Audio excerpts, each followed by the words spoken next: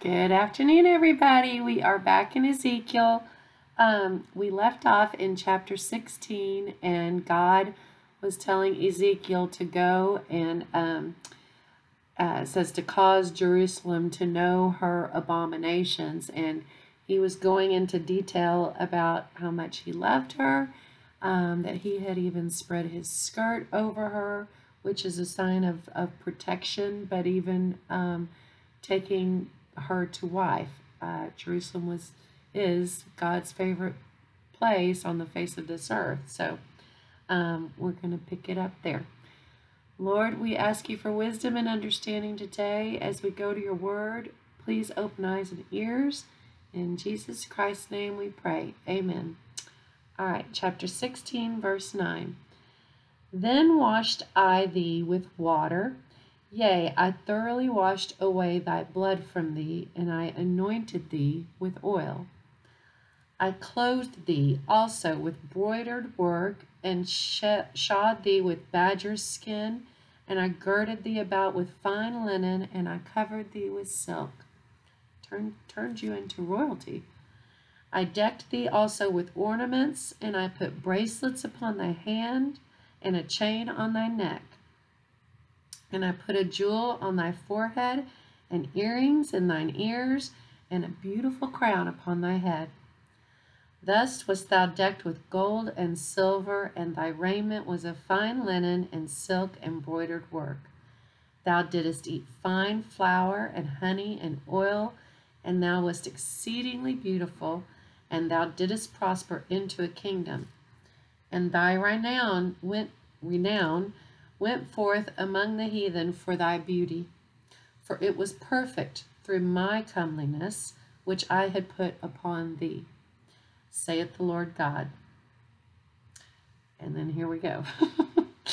but thou didst trust in thine own beauty. You became prideful and playedst the harlot because of thy renown, and pourest out thy fornications on every one that passed by his it was. And of thy garments thou didst take, and deckest thy high places with diverse colors, and placed the harlot thereupon. And this this harlot that they're talking about is is spiritually um, because of the idolatry. Um, but since God had married, in a sense, married Jerusalem, it's the um, symbolism there that that committing fornication with other gods. Not good.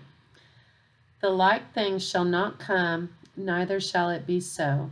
Thou hast also also taken thy fair jewels of my gold and of my silver, which I had given thee, and madest to thyself images of men, and didst commit whoredom with them, and tookest thy broidered gar garments, and coverest them, and thou hast set mine oil and mine incense before them. You're worshiping these, these false idols. My meat also, which I gave thee, fine flour and oil and honey, wherewith I fed thee, thou hast even set it before them for a sweet savor. You've even given that to those idols. And thus it was, saith the Lord God. Moreover, thou hast taken thy sons and thy daughters, whom thou hast borne unto me, and these hast thou sacrificed unto them to be devoured. We talked about that before. That was a thing back then of the Molochism, child sacrifice. Uh, has borne unto me, and these hast thou sacrificed unto them to be devoured. Is this of thy whoredoms a small matter, that thou hast slain my children and delivered them to cause them to pass through the fire for them?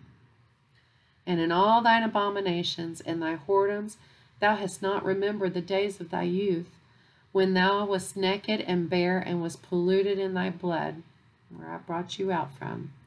And it came to pass after all thy wickedness, woe, woe unto thee, saith the Lord God, that thou hast also built unto thee an eminent place, and hast made thee a high place in every street. You really puffed yourself up. Thou hast built thy high place at every head of the way, and hast made thy beauty to be abhorred, abhorred, and hast opened thy feet to every one that passed by, and multiplied thy whoredoms. And that's five minutes and actually a good place to stop. So I love you guys. Um, happy Monday. Hope you're having a good one. Love and blessings to you. We'll pick it up there tomorrow.